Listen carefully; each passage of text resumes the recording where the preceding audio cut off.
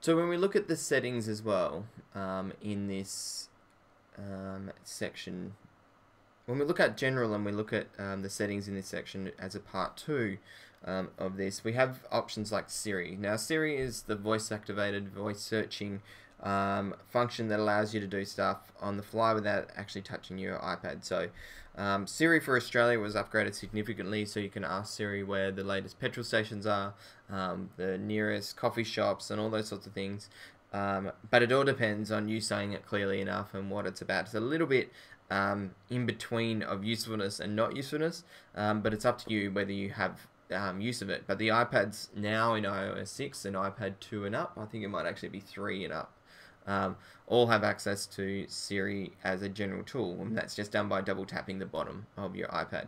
Um, it also has the language and the voice feedback and the My Info, making sure you My Info because it'll refer to you by name. VPN um, connection, these are sort of connections that you use um, not as a general day-to-day um, option, but certainly from a school's perspective um, and for networks um, between business and business that require specific connection types, VPN is um, referred to as virtual private networks that can exist between two places.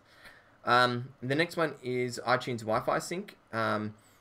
What will happen is that if I'm within a Wi-Fi connection, say this iPad is connected to the um, I, um, to the my Wi-Fi at school, and so is my laptop where I sync my iPad to is also connected to the Wi-Fi on the same network. I can actually sync it between the two of them without actually putting in um, a cable.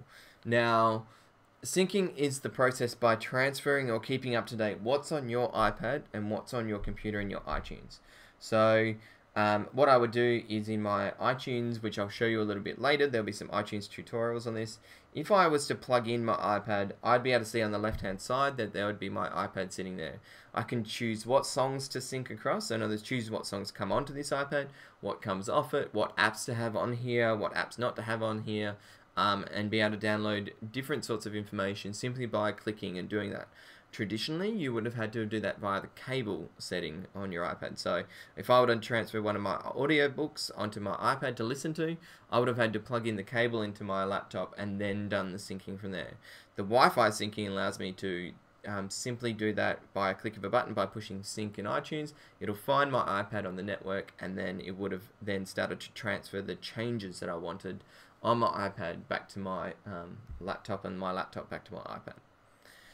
Spotlight search. Um, this is sort of like the the setting for when I go to um, this section just here to have a look on my iPad. What it'll do is it'll give me the options um, to search for a keyword in any of these sorts of events. Um, and I can add or change. So if I wanted to look up a number, I could just start to type in that number. Say if you got a phone call, um, on your iPhone or your iPad um, and you didn't know what whose number it was, then you could go in there and just type that in and it would come up. You can turn these on and off or delete them um, depending on what you wanted to do, but it's just another added function.